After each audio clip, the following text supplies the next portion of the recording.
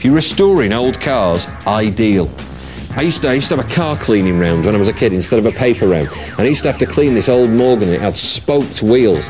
Oh, good. And the amount of stuff I needed a toothbrush to clean in between. The amount of bits and pieces I had to go back to. I had a little trailer on wheels that I pulled behind my bike.